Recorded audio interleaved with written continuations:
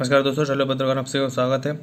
एक वेबसाइट काफ़ी इंटरनेट पर वायरल हो रही है इसमें जिसकी, जिस वेबसाइट का नाम है रिलीफ फंड डॉट लिल करके, और ये वेबसाइट दावा कर रही है कि ministry of labour and employment benefit available हैं, जिसमें ये दावा किया गया है कि जिन्होंने उन्नीस सौ बीस से लेकर 2021 के बीच में काम किया है, वो उन्हें ministry of labour and employment कुछ पैसे दे रही है। कितने पैसे दे रही है, वो भी यहाँ पर मेंशन किया गया है।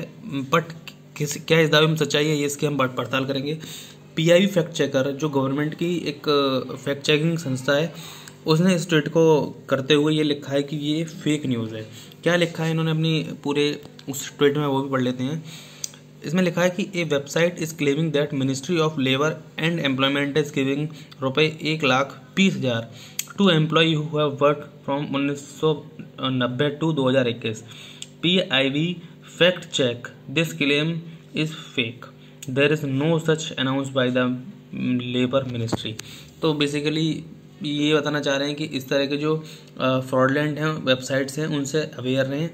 इस तरह का दावा सरकार की तरफ़ से नहीं किया गया है कि इस उन्नीस सौ उन्नीस से और 2021 के बीच में जो भी एम्प्लॉय ने काम किया उनको एक लाख बीस हज़ार रुपये लेबर मिनिस्ट्री दे रही है। तो इस तरह के दावे बिल्कुल झूठे हैं और इस तरह के दावों बिल्कुल भी विश्वास ना करें।